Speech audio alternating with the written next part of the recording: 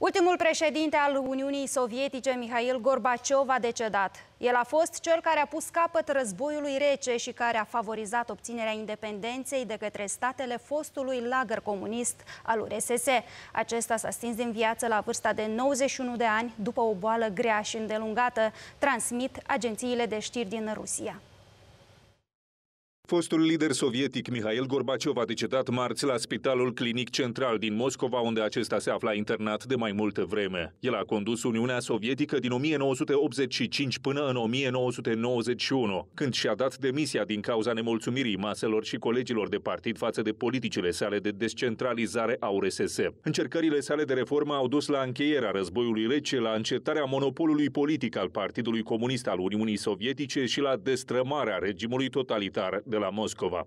В силу сложившейся ситуации с образованием Содружества независимых государств я прекращаю свою деятельность на посту президента СССР.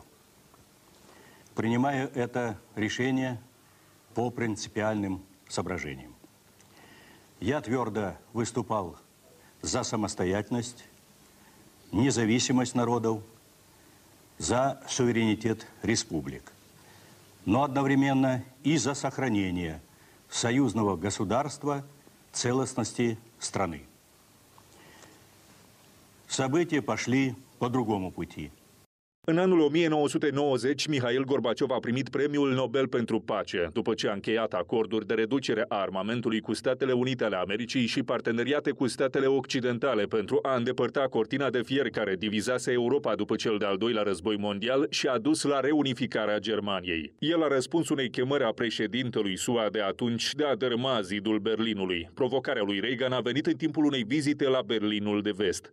General Secretary Gorbachev if you seek peace, if you seek prosperity for the Soviet Union and Eastern Europe, if you seek liberalization, come here to this gate. Mr. Gorbachev, open this gate.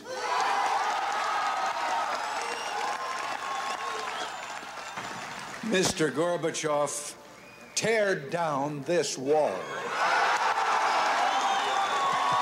Când protestele în favoarea democrației au cuprins națiunile din blocul sovietic al Europei de Est comuniste în 1989, Gorbaciov s-a abținut să recurgă la forță, spre deosebire de liderii anteriori ai Kremlinului care au reprimat cu tancuri revolta din Ungaria în 1956 și cea din Cehoslovacia în 1968. Aceste proteste au alimentat aspirațiile pentru autonomie în cele 15 republici ale Uniunii Sovietice, care, într-o manieră haotică, și-au obținut independența în următorii doi ani. Deși Gorbaciov s-a pronunțat împotriva destrămării URSS-ului și a încercat să prevină acel colaps. Mihail Gorbaciov va fi înmormântat fără onoruri de stat lângă soția sa la cimitirul Novodevicii din Moscova.